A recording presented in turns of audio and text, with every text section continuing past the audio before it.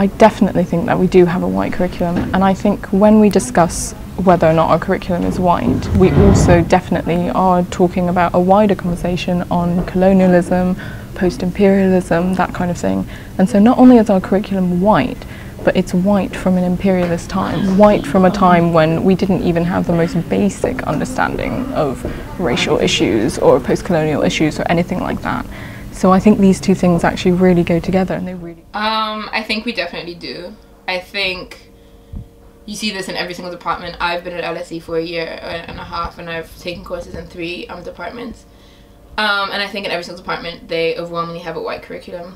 Um, and that's funny, it's not just a British curriculum or an American curriculum, it's a white, um, very, very clearly white. You know, you have diversity in terms of where people are from.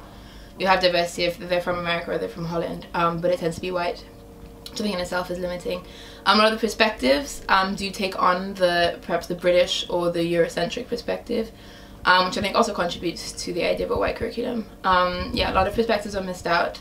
And the Western perspective, the best part is it isn't shown as a perspective, it's just shown as what is the truth. Um, and that's the problem with the white curriculum is showing something as the truth as opposed to a perspective and that's definitely what LSE has. Uh, yeah, like most of my modules are based on um, politics and economic policy based on like European countries but I don't see a, a massive issue with that because at the end of the day it's it's just a course that like we have what 20 weeks of teaching in a year um, so what 20 hours of lectures that's by all means not the whole subject body. So um, if anything, it's just a flavour of the subject that you get tested on. It doesn't mean to say that there isn't um, different perspectives in different areas of the world, like be it Asia, Middle East, Africa. Um, so if, if someone was interested in finding out more, then the onus I would say is on them to explore further. And often, um, lecturers and class teachers are not opposed to people bringing in like um, things that aren't on the reading list or things that aren't necessarily part of the course um, as an outside perspective. But I think maybe that needs to be made more clear um, so that people know that okay, this isn't like the normative thing here. This isn't the, the only thing about this course that can be taught. There are other perspectives outside of it. Um, I think in general the UK does have a white curriculum. Like from what I remember um, in my sort of learning experiences in the past, I've always kind of learned things from a very white perspective. All my readings, everything has kind of come from white men generally, but um, at LSE I've kind of noticed it a little bit more. Um, I study international relations and I found that that is very Eurocentric and even in past papers the question comes up, is IR Eurocentric? Um, so I think the fact is that the university itself acknowledges that this is a very Eurocentric course in the way that it's taught, but the thing is, like, why is nothing happening about it? Why why why isn't the course being changed? Um, I think it's it's especially um, a problem considering that the LSE advertises explicitly that you know we have 150 nationalities represented on campus um, but this ex this experience isn't translated into our curriculum. It's not in what we're taught. Um, the same, you know, multicultural pluralism is not reflected in in the IR department syllabus. It's not reflected in the history of what we're taught. Um, I remember in first year we had to do a basic course, um, HY 116, Concepts of International Society. Um, and you look at concepts like empire, and on the reading list there would not be a single person from from a former colony or someone who is a core thinker of the post-colonial movement and someone who critiques empire. Um, and if there was someone who was critiquing empire, it'd be someone from the West. Um, and essentially this Euro-American hegemony of the way we see the world and how we're taught to think is problematic. Um, some of us who aren't from the West just don't don't feel comfortable and we don't feel like there's a place for us within academia if it's obviously shutting us out. I mean, the core, the distinction between the core and the periphery is, is was essential to how empire functioned and that, that distinction no longer exists. You cannot deny us and you cannot erase us, you cannot silence us anymore when we're physically sat in your classrooms. So me taking international history, I think it's a case of you question actually the validity of calling it international, you know, just call it history because you can't justify calling it international if the only international elements you have are, you know, post 20th century and anything before that it's a case of, oh no, this is, this is just solely focused on, on the Western countries. Because for me, for example, doing history and taking the historiography course, and they're questioning, okay, you're talking about von and, and the Annales school, and you're not actually discussing the many, many other scholars of history throughout the whole world that have contributed to the creation of history. Um, so me growing up as a Muslim and learning about Islamic history, I was confused when I went to university and you know, I'm thinking, okay, when we're learning about all these other different scholars who, for me, I kind of associated with the creation of history and the creation of a school of thought. Um, and it was completely different. So I think that's something that really needs to be addressed. Can we justify labelling ourselves as something new and something on the verge of really breaking barriers and being international when actually we're still very much set in a traditional mindset?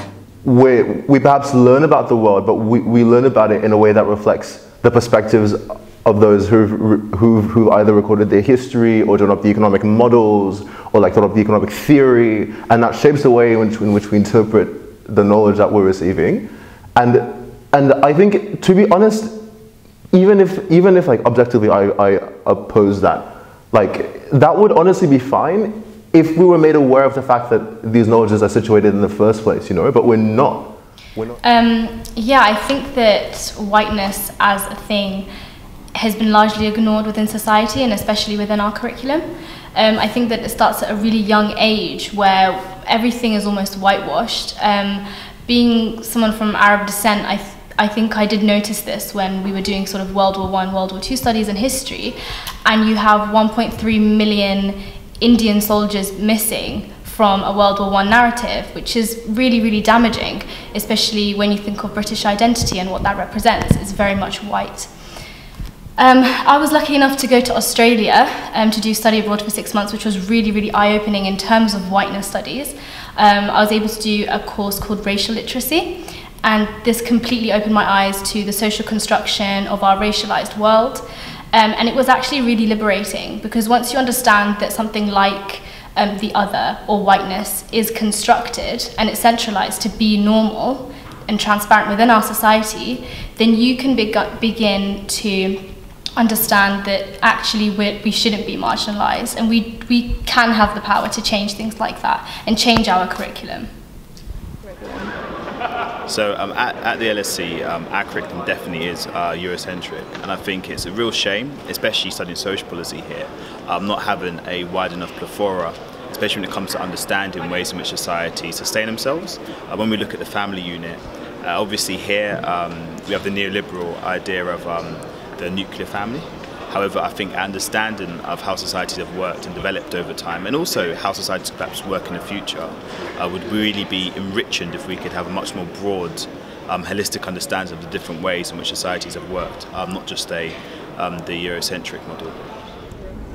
Definitely, I think not a day goes by when you're in class that you don't see elements of a curriculum which is tailored around the interests of white people, around the history of white people, or indeed around um, the discourse of the white man essentially being correct, all-knowing and all knowledgeable, whereas people from the Orient are described as being, you know, the other or coming out with a discourse that challenges prevailing narratives. So in that regard, we're always pitted as, you know, being the antithesis to um, rationality, essentially.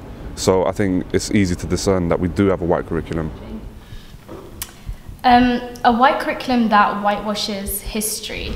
For example, when we think of ancient Egypt, we seem to think of, um, you know, sort of white people um, within within that history, when actually there's overwhelming evidence to show that they were black people, obviously in ancient Egypt. To give that narrative definitely implies that um, all civilized history and all in the incredible history that we have in the world is predominantly a white history. And I think this is very, very disempowering for people who have a missing context from their own histories and the amazing work that their, their own identities and their own heritage has accomplished. For example, when I look at Iraq, if someone looks at Iraq now, you know, it's almost as if we have no history. The only history that the white man has created is of war and violence and destruction. But actually, if you look before the 1900s, it was blooming with literature and maths and science and art and you know this history of Babylon as well. It's it's very much missing from the narrative, and I think it was, you know, a campaign by the colonial powers um, to decivilize, and I think that that disempowering nature has continued until today. It bothers me because it's there's a sense that's missing from our from what we're learning. There's something that's missing. Um, for example, when I was at Penn State, I had this one class. It was this um, South African politics class, and the professor was South African, and she had lived through the apartheid. And so during the class, like she showed us, she lifted her skirt and showed us the bullet wounds on her legs when she was talking about refugees, and she spoke about her own personal experience, and that gave a richness to the lesson that someone who was not South African, someone who had just read books and done um, case studies will not be able to give us that richness in the lesson. And so what bothers me about it is that we're missing out on something that people who have lived certain experiences can can give us as students or people um, can relate to the material that we're learning in a personal way when we're talking about, for example, representation in the media. And if we're talking about that and it's taught by a white male who can never really fully understand what it is as a black female to be misrepresented in the media, despite how much he's read it and researched it, it's very different and a little less um, fulfilling when he hasn't lived it himself and um, there's that disconnect i feel like between the text and the person. And that's what bothers me about it that we could do more to improve the education by having diversity. So yeah in my experience um, so i'm a philosophy student um, and i feel like basically everything that i study is the work of white men and the contributions of women and of people of color are just like marginalized and diminished. Um, and like so I uh, I did a module part of which was on race. And the only like all the readings that we were set were written by white men. And so it was this white man teaching me what other white men have said about race and you know racism and racial relations and our So I think this goes back to some of the stuff I was saying earlier about this impression that we seem to have that we are really academically rigorous and that we're somehow objective and that we somehow base everything on objective, non-subjective fact and you know none of it's relative, none of it you know. Um, and so if we want to have that as something that we claim academia is, then we can't say we're going to have a UK or Anglo-based curriculum because it's not true to the truth of the world as a whole. Now, if we want to have this UK-based, Anglo-based thing, and you know, perhaps there are those who have arguments for it, I'm not one of them, but if that was really the case, then at the very least we ought to be a little bit more honest about it. We really then ought to just flat out say, yes, we do have a really Anglocentric curriculum. No, we're not going to have all of this academic elitism. We're not going to have all of this superiority and saying that really these are the theories and the ideas and the books that we are going to read because they are objectively better, because they are objectively more academically rigorous. Like you just can't have both of these things at the same time. Our narrative and discourse, essentially to understand powerlessness and empowerment, you need to understand what power and powerlessness actually is. White privilege can be something as simple as, you know, walking into a shop and not being suspected of potentially being a shoplifter. But white privilege in this situation, in this circumstance, can mean something as simple as walking into a university lecture theatre, seeing a lecturer who looks like you, resembles you, shares your values, your history, and actually asserts these and puts these out to be fact in class, that's a form of power, uh, of uh, empowering someone. And for us to be excluded from that narrative really does um, aggravate our powerlessness in society and it really does serve to do nothing but exclude us from all prevailing narratives. Part of white privilege is the fact that it, it hinges on exclusion. So, for, so to exclude our histories, our narratives and all of this discourse from what we be, what we are being taught at university that really does nothing productive in combating the white privilege which has for centuries oppressed people of a darker skin tone or people from the orient So in that regard, it does really matter and it does need to be challenged because if we don't do something about it, we'll essentially be coerced into conforming, we'll be coerced into ameliorating all of our identity, all of our history, and essentially be subservient to the prevailing norm, which is constructed around the interests of the white male archetype. Well, um, basically, I'm from Australia and my whole life um, I lived in a very white area in Australia, and my whole life, people keep telling me, Purvisha, stop playing the race card. Purvisha, stop playing the race card. This, these issues don't like exist. These issues don't exist. It might not exist to them, but it exists to people of color, and I'm, I'm often accused of always playing the race card, um, and basically to to rephrase or um, Hari Kondabolu's quote to say that I'm obsessed with racism in Australia is to say that I'm obsessed with swimming while I'm drowning. So when you have the president of the French Republic, Sarkozy, going into a university in Senegal, an African university, and saying and, and saying literally, it is a tragedy that the African has not yet entered history. Like what the what is that? Swear. It's, it's absolute rubbish. It's it's I find it so repulsive and and like the thing is we don't. I mean, sorry to make this so Africa-centric, but like there's so much that we don't learn because because because I think we just we just don't learn it. And like number one, that's problematic. First of all, but it makes sense that like when when when no one's paying attention to to the structures that like are responsible for this mess in the first place, of course we don't learn about it, you know? Have suggested that because of the fact and virtue that we're in Britain, our curriculum should accordingly be Eurocentric. I vehemently disagree with that notion. I think to instill these so-called British values in our curriculum would run contrary to all notions of justice and equality. If Eurocentricism is to be propagated, what is Eurocentricism? The fact that it's colonized a third of the world, that's Britain alone, not even Europe. A third of the world has been colonized, subjugated to their values, whereby it's internalized this self-hate, it's internalized this whole idea that, you know, Europe is always correct, Europe is the standard of beauty, Europe is the standard of education that all of us should strive for. So I think that we should definitely start campaigning at uni um, to bring in more lecturers from uh, BME backgrounds. Um, it's definitely empowering to students to see that their lecturers are teaching subjects, for example, on Africa from African descent. Um, and I think that this should then ripple out into secondary schools and primary schools, especially because um, race is something that is instilled within us from a very, very young age. And, and I think it's, it's very important to make people aware of the social constructs from, from a young age um, in order to give them the, the liberation effect, if I call it that, um, and to, to empower BME students to be able to know that, you know, they, they can go on and, and achieve things. So to fix the Eurocentric nature of our curriculum, I think we could do a number of things. I think firstly, uh, we could seek to make sure that you know in all of the courses there's a wider spectrum of ideas, and where even if we're not you know taught about them in depth, that we're made aware that there are other competing ideas and ways in which things have been done across the globe. I think secondly, uh, we could actively encourage, you know, the idea of dissent in class about different models and actually competing theories and how they operate um, across the world and have done in the past. I think thirdly, and possibly the most important thing, is to have a wider variety of teaching members who have experiences from right across the globe. I mean, you know, most recently the LSE did an incredible scheme to bring on board over 100 leading professors and lecturers from across the globe, and yet from that entire number, only one of them uh, was from actually outside of Europe. And I think this is a massive shame and a massively missed opportunity to really enrichen the life um, of LSE's academic staff. Uh, I definitely think that we should try and fix it. I know that it's not going to be fixed overnight. I know it's something that's going to take a lot of time.